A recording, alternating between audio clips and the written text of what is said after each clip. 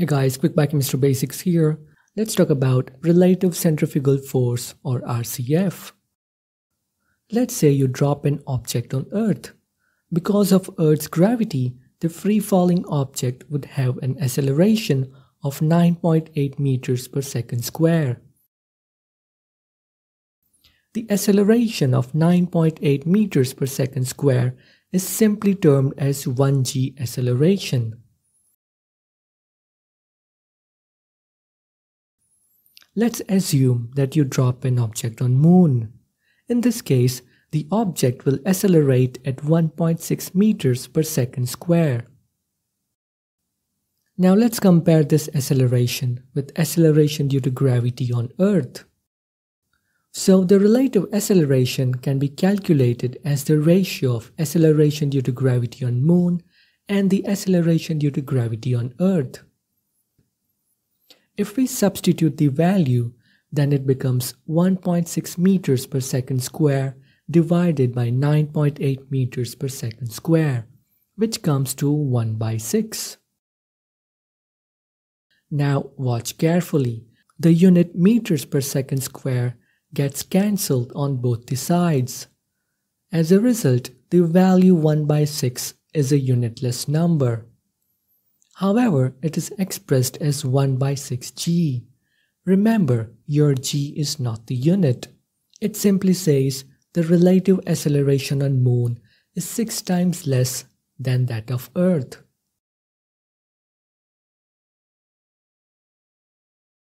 Let's take another example. Suppose you drop an object on Jupiter. Then it will accelerate at 24.7 meters per second square. This means the relative acceleration on Jupiter is 2.5 times more as compared to Earth.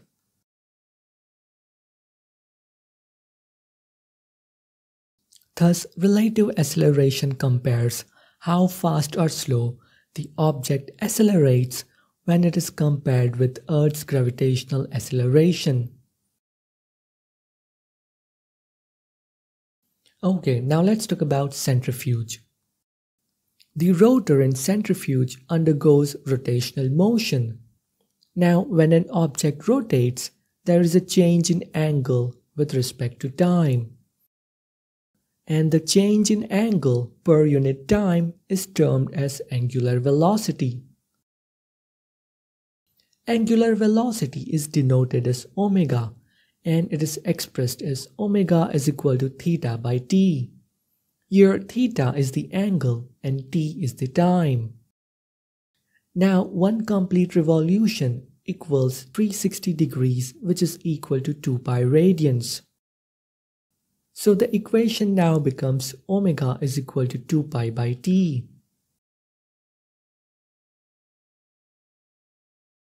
Now 1 by t is frequency f. So omega is equal to 2 pi f.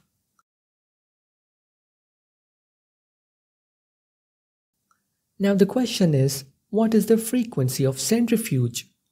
In centrifuge, the rotational motion of rotor is measured as RPM, which is number of revolutions per minute. Notice this carefully. RPM is almost same as frequency. The only difference is that RPM is measured in terms of minutes, whereas frequency is measured in terms of second. RPM is number of rotations per minute and frequency is number of rotations per second. So RPM divided by 60 is frequency f.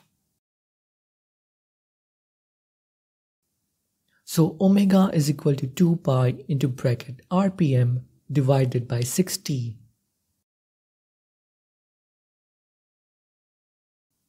Now acceleration in centrifuge is given as r omega square. Here r is the distance from the rotating axis.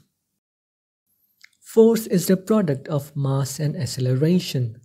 So force in centrifuge is equal to mr omega square.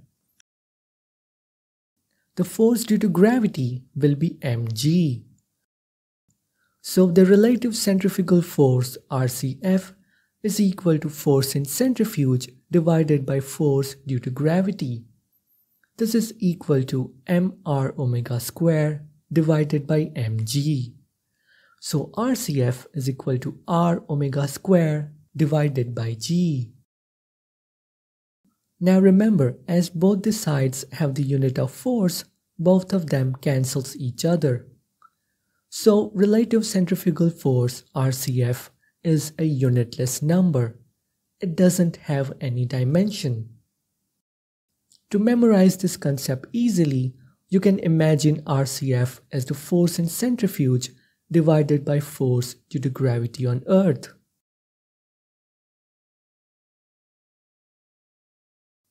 Now suppose the acceleration of particle in centrifuge is 9.8 meters per second square. Then this will be simply denoted as g. If the acceleration is 196 meters per second square, then it is indicated as 20g. If it is 1960 meters per second square, then it is denoted as 200g.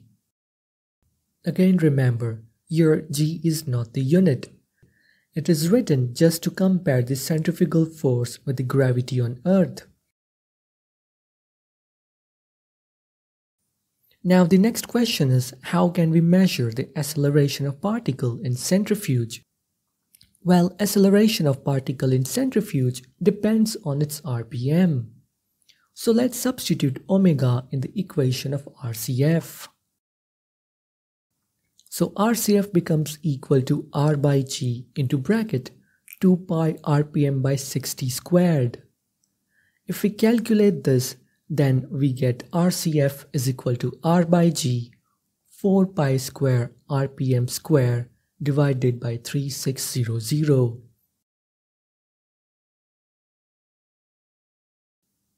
Now you have to be careful while putting the value of R and G. If R is measured in meters, then take the value of G as 9.8 meters per second square. If R is measured in centimeters, then take the value of G as 980 centimeters per second square. If R is measured in millimeters, then take the value of G as 9800 millimeters per second square.